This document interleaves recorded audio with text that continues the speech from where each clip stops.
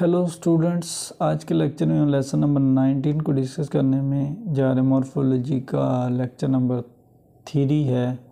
उसमें नीच को डिस्कस करेंगे नीच है क्या? नीच the word formation in which new word is created other deliberately और accidentally using the word formation for such and often from seemingly nothing as neologism or coinage we identify the word forming process of inventing entirely new words this is the constant evolution new words and new use it is sign a variety of creating in the way language shaped older example are aspirin nylon whistling and zipper recent example मतलब किसी नए word को create करना मतलब नया जो procedure होता है उसको कोइनेज कहते हैं एपोनीम्स क्या होती है? No word also made based on the person और प्लेस हो एवर स्पेंगल तो ये डिफरेंट काइंड बोरविंग बोरिंग मतलब उधार लेना in linguistic also known as a lexical boring is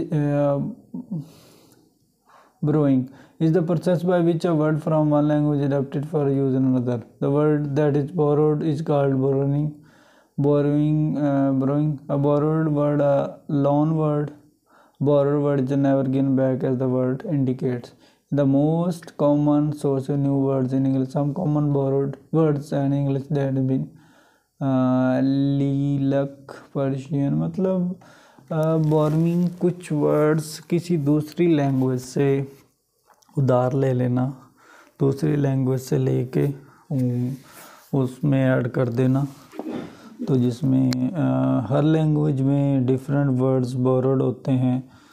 English में लैटिन है ग्रीक भी है और डिफरेंट लैंग्वेज होती है। Loan translation are calque some time words is another language are translated this is this process is loan translation direct translation of time words जब translate किए जाते हैं कि बोरोड होते हैं, उधार लिए होते हैं लोन लिया होता है, कर्ज लेके जिस तरह तो इस लैंग्वेज में भी कुछ वर्ड्स उधार लेके उनमें एडिशन की होती है तो उनको लोन ट्रांसलेशन कहते हैं। कंपाउंडिंग और ब्लेंडिंग ये टर्म्स हैं। Joining of two words to produce single form is very common word formation is Lang compounding book case, book के साथ केस को हमने ऐड किया तो वो कंपाउंडिंग बन गई। Door fingerprint, sunburn, text book, इसको अलहदा भी कर दें तो ये अलहदा शेप, वर्ड वाल पेपर, वाल दीवार को कहते हैं paper. Waste basket and water but using adjective में भी हो सकती हैं। मतलब कंपाउंडिंग में दो लफ्ज़ों को जोड़ना है। Combination of two separate form to produce single new term separate forms को जोड़ के एक लफ्ज़ बनाना, इसको ब्लेंडिंग कहते हैं। कंपाउंडिंग में सेम वर्ड्स और ब्लेंडिंग में डिफरेंट स्मोक से फोग स्मोक से हैस तो ये डिफरेंट किस्म के होते हैं।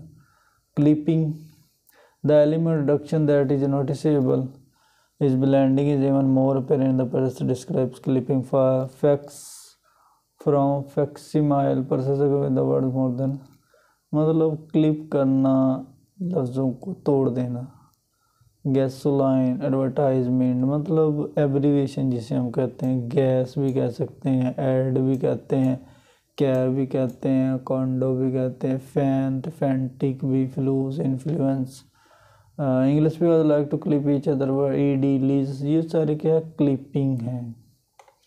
क्लिप करना, लफ्ज़ों को जोड़ना, और जो आधा वर्ड है, वो भी अगर कह दें तो पूरा मीनिंग देगा।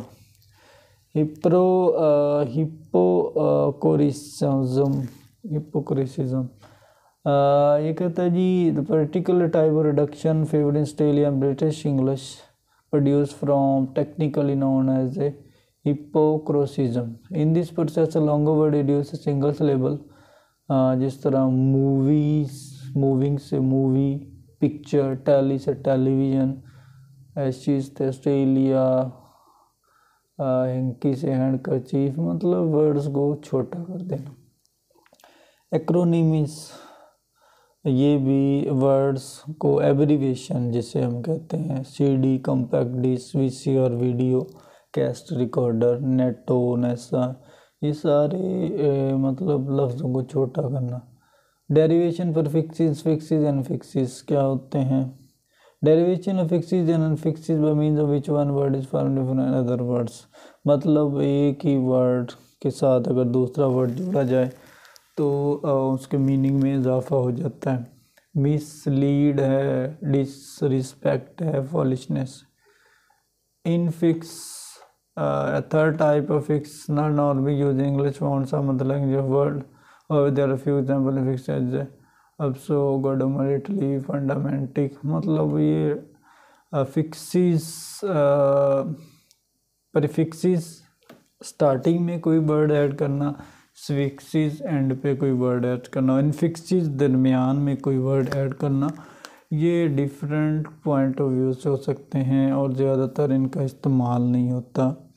इंग्लिश में वर्डिंग में होते हैं, लेकिन रेयर में होते हैं, ज़्यादा नहीं होते। तो ये तीनों जो टॉपिक थे मार्फोलॉजी वन टू थ्री ये तीनों फार्मेशन ऑफ़ वर्ड्स पे थे, जिसमें हमने डिफरेंट टर्म्स को डिस्कस किया मॉर्फीम्स को डिस्कस किया। उसके बाद क्लिपिंग को ब्लेंडिंग को एक्रोनमी को प्रिफिक्सिस फिक्सिस को मतलब डिफरेंट टर्म्स को हमने डिस्कस किया। वो क्या होती हैं? ब्लेंडिंग को बॉन्डिंग लफ्ज़ों को उधार लेना आ, मतलब लफ्ज़ों को उधार लेके जोड़ना। तो ये सारे मॉर्फोलॉजी का ही पार्ट हैं।